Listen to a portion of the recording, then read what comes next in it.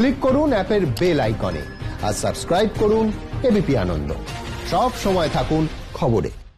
ফিরে এলাম বিরতির পর। আদালত নিষিদ্ধ করলেও দাপট কমেনি চীনা মাঞ্জার।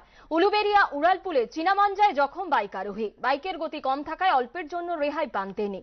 ঘটনায় পুলিশের নজরদারি নিয়ে প্রশ্ন তুলেছেন এলাকাবাসী।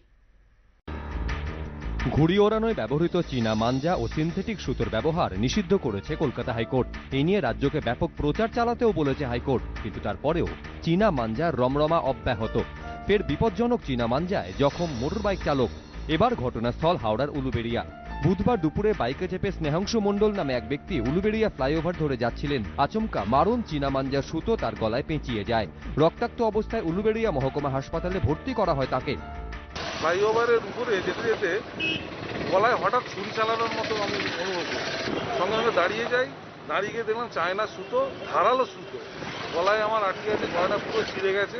এইগুলো একটু বন্ধ করা উচিত ফ্লাইওভার লাগু আজ ঘুড়িটা যেন না ওড়ে। প্রত্যক্ষদর্শীদের বক্তব্য বাইকের গতি কম থাকায় অল্পের জন্য রক্ষা পান এই ব্যাংক কর্মী। কিন্তু দুর্ঘটনার পরেও এই এলাকায় বন্ধ হয়নি ঘুড়ি ওড়ানো। না আমাদের বাড়ি থেকে। বাড়ি ফেরা বাড়ি ফেরা পর্যন্ত সবসময় আতঙ্ক থাকি যে চীনা মাঞ্জাটা গলায় লেগে আমার না প্রাণহানি ঘটে। পুলিশি অভিযানে যদি এই চীনা মাঞ্জা বিক্রয়টা বন্ধ হয়, তাহলে আমরা আম পাবলিক সহ আমরা খুব উপকৃত হব। গত কয়েক বছরে মা উড়ালপুল ও এজেসি বোস রোড ফ্লাইওভারে চীনা মাঞ্জায় জখম ও প্রাণহানির তালিকা দীর্ঘ। এবার উলুবেড়িয়ায় অল্পের জন্য রক্ষা পেলেন বাইক আরোহী। সুমিত হালদার এবিপি আনন্দ, হাওড়া।